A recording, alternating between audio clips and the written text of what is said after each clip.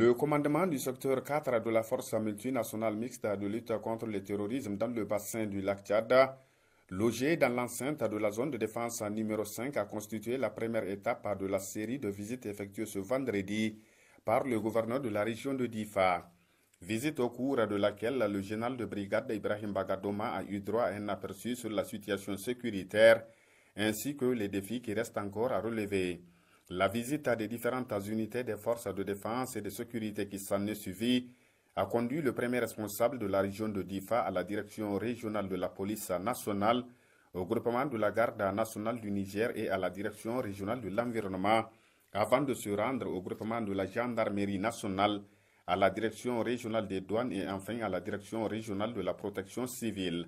Ainsi, après les honneurs rendus par les éléments de ces différentes unités des forces de défense et de sécurité visitées, le gouverneur de la région de Difa, le général de brigade Ibrahim Bagadoma, a par la suite tenu à transmettre ce message axé sur la détermination, l'engagement et la bravoure, mais aussi et surtout la cohésion, gage de la réussite de leur mission. Le premier message, bien sûr, concerne les salutations et les encouragements du Conseil national pour la sauvegarde de la patrie et plus particulièrement son président, le général de brigade Abdraman Chani.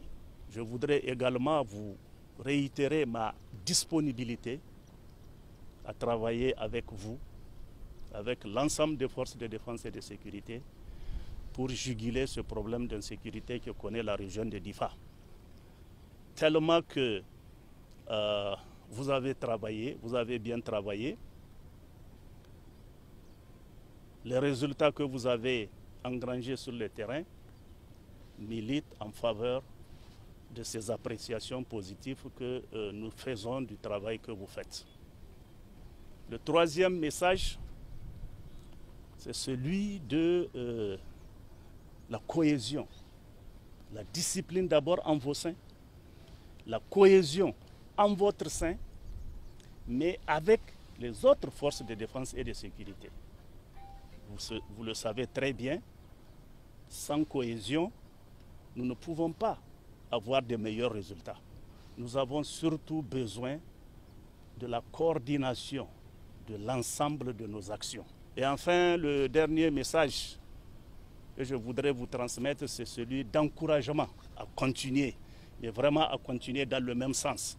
A noter que dans ce déplacement, le général de brigade Ibrahim Bagadoma était en compagnie du président du conseil régional de Difa, M. Koro Jidala, des secrétaires généraux de la région, du préfet du département de Difa et des responsables des différentes unités des forces de défense et de sécurité en poste dans la région de Difa. Afrique Média, le monde, c'est nous.